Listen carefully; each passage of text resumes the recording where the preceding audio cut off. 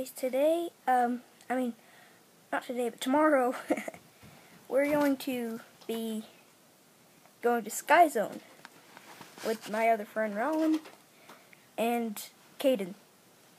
Okay? Alright. And we're, it's gonna be awesome. We already got stuff planned at in the phone pit, too. And